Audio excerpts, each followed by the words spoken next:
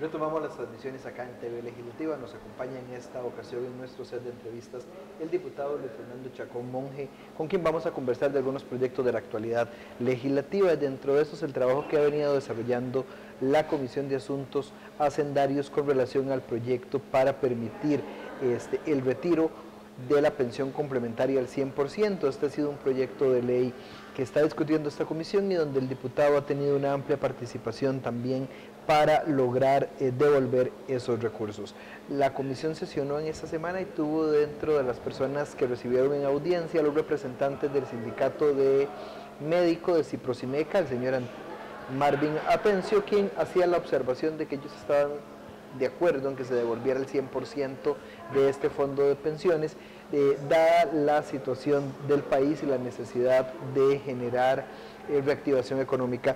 Diputado, eh, usted ha estado de lleno en este tema, lo ha propuesto, también ha, estado, ha sido parte de los diputados que han propuesto este proyecto de ley. Expliquémosle a la gente en sí qué es lo que buscan ustedes con este proyecto y cómo va el avance en la comisión directamente.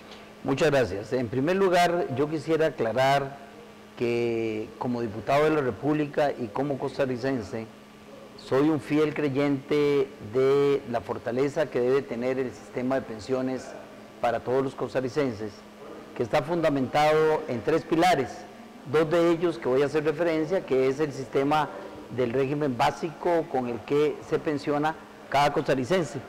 Dentro de ellos está el IBM, el de vejez y muerte de la Caja Costarricense del Seguro Social, que es donde estamos la mayoría de los costarricenses algunos otros que son otros, otros sistemas como el del magisterio y el poder judicial. Y el segundo pilar es precisamente eh, el Fondo de Pensiones Complementarias, que es lo que conocemos como el ROP. Este fue un proyecto eh, que fue hecho ley de la República en el año 2000 y con este proyecto se pretendía que al final del retiro de cada costarricense se le sumara a su pensión básica un fondo complementario que debería haber andado entre un 20 y un 30%. Bajo esta premisa, yo quiero dejar claro que no estamos en contra de que este sistema se debilite, todo lo contrario, debe fortalecerse para que finalmente cada costarricense tenga un complemento de pensión entre un 20 y un 30%. ¿Dónde se presenta el problema? El problema se presenta que el legislador en el año 2000 visualizó que en el periodo de maduración de la ley, que era entre el 2000 y el 2035, se iban a estar pensionando una cantidad de costarricenses y que ese fondo complementario de pensiones iba a ser insuficiente. Entonces le dice un transitorio de la ley que eh, la SUPEN, vía reglamento, tiene que ver cómo resuelve ese problema. Y vía reglamento, no vía ley, sino vía reglamento, la SUPEN eh, diseña una fórmula matemática actuarial en donde me parece a mí que de una manera, yo no quisiera pensar mal, de una manera equivocada, el resultado de esa fórmula ha sido absolutamente injusta para todos los trabajadores que se han pensionado. ¿Por qué digo que es injusta? Porque aquellas pensiones de otros regímenes, como es el Poder Judicial y el Magisterio, que se fueron con pensiones millonarias muy grandes, se le ha estado entregando absolutamente el ROP. Y a la mayoría de los costarricenses que se están yendo por el, el, sistema del IBM, pues no se les ha estado aplicando la misma posibilidad. De manera tal de que aquí ya de por sí pareciera que hay un trato desigual inconstitucional.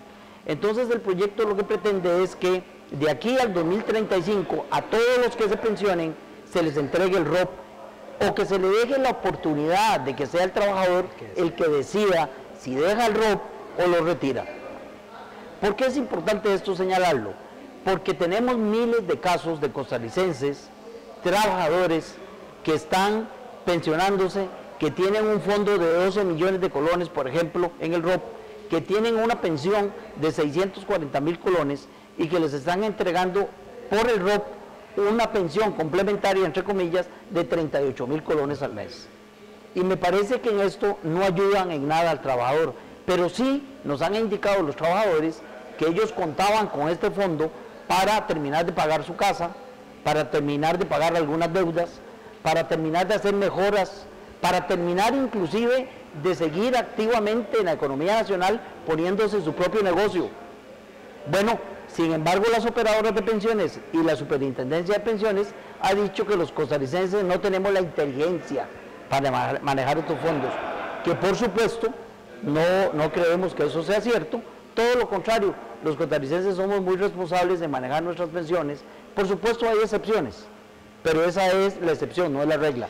Diputado, pero la Caja Costarricense del Seguro Social y la SUPEN han venido a la, a la comisión y han mostrado su rechazo al proyecto. ¿Cómo lograr convencer a esos sectores que todavía están en contra y cómo poder hacer una ley que no venga más bien al final de los años a generar un problema a esas personas que hoy lo retiran. Mire, por eso eh, inicié mi participación en este programa eh, indicando que estamos a favor de que el sistema se fortalezca y no como han dicho algunas operadoras y algunos bancos de que el sistema va a quebrar el sistema de pensiones, que el proyecto va a quebrar el sistema de pensiones. Todo lo contrario, estamos diciendo que hay que poner un transitorio para definir si es el 2035 o el 2030 para que los costarricenses tengan la opción de retirar o no su fondo eh, complementario de pensiones.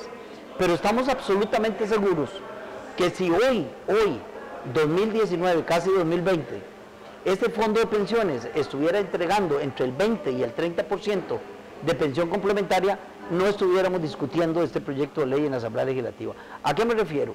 Si una persona que se hubiera retirado con un millón de colones de pensión le dan 200 o 250 mil pesos de pensión complementaria, en buena hora. Pero lo que están entregando actualmente las operadoras de pensiones son abonos de polaco y no les ha gustado el término, pero esa es la realidad. Yo quiero decirle a los costarricenses que este fondo de pensiones complementarias casi está llegando a los 7 billones.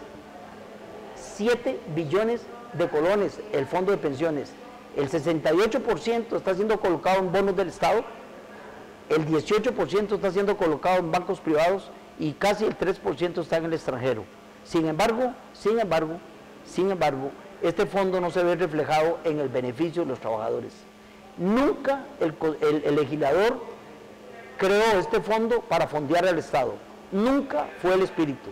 El espíritu fue darle una pensión justa a los trabajadores, que el día de hoy al año 2019 no se está cumpliendo. Y esa es la justicia, Rob, por la cual hemos estado peleando. Le, agradecemos al diputado Luis Fernando Chacomonge que nos haya acompañado acá en el set de entrevistas para llevarles a ustedes un poco cuál es la visión de los legisladores con respecto a estos y otros proyectos que se discuten acá de la Asamblea Legislativa y que sin lugar a dudas generarán gran debate en la ciudadanía. Le agradecemos al diputado, vamos ya con tomas del plenario que la sesión está próxima a iniciar.